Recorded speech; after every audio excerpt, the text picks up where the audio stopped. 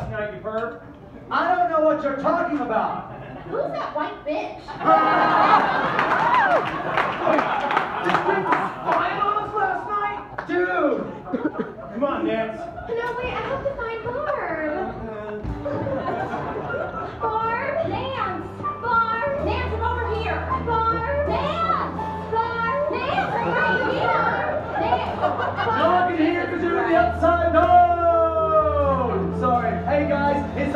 again where we've reached a fork in the road. So we need your help to change the action. So, who am I going to have next? Ooh, ooh, ooh, hello. Come on stage. What's your name? Ari.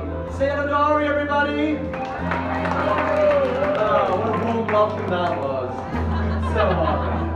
I'm going to not bring out my die for this one. This is all down to you so, these are your two options. Do you A, allow Bob to live? Or B, do you allow Bob to get eaten by a demogorgon? Ooh, hold on, hold your horses. Yeah, I'm to give you a little incentive, okay? If you choose A, for to live, you get your moral compass kept intact, okay? But if you choose her to get eaten by a demogorgon, you'll get a mimosa on us. Yes! Not steering at all there. Now, this is a big decision, I know. You think that you've clearly made it already, but you haven't. Because I'm going to give you a little time. And let these girls sing a little song. Thank you, ladies. Come on, sit down. I'm going to join you.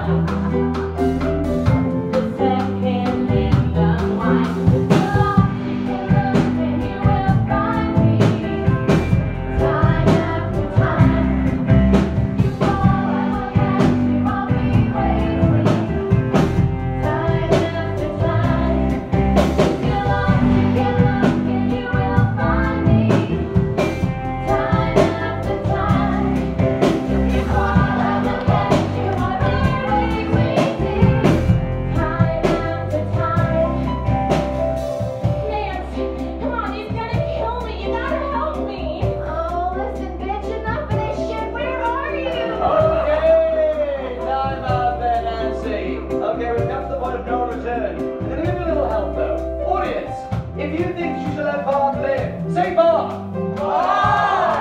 Now, if you think Ari should let Bob be eaten by a demogorgon, say demogorgon.